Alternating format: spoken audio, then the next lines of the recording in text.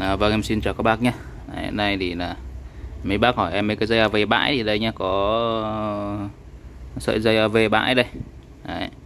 cái sợi này thì nó dài là đôi này 4 này Đấy. ở đây là đi đôi 4 6 8 Đấy.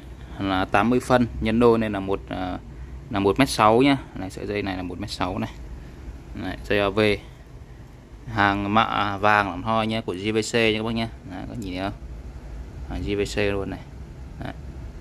Đấy. nguồn gốc của nó thì được sản xuất tại Malaysia này Đấy.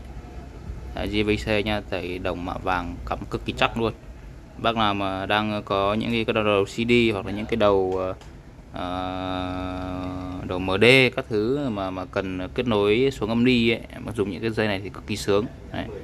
nó giảm tốc độ nhiễu tín hiệu rất là tốt Đấy, và tiếp xúc cũng rất là chắc. Đấy, nhé Đấy, tiếp xúc tốt luôn. Đấy thì con JVC này thì uh, thì thì là nó được sản xuất bởi công ty Victor này Company of Japan Japan này. Đấy chưa? Đấy. Audio Cost Victor Company of Japan đấy nhá.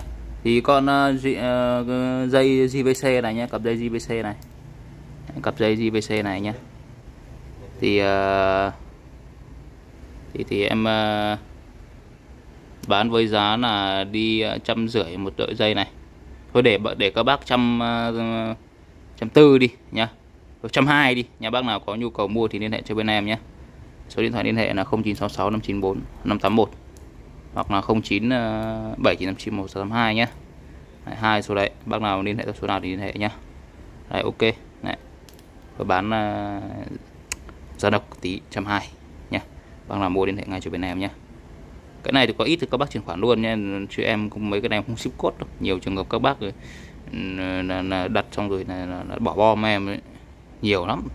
Nhiều khi các bác mấy cái này các bác nghĩ nó bụn vặt không có gì. Nhưng mà cái tiền em nói thật có một vài ờ, có hơn trăm nghìn để bán cho các bác xong rồi các bác bỏ bom em lại tự nhiên em mất từ em mất xử là mấy chục nghìn tiền tiền cước đi cước về chết dở luôn.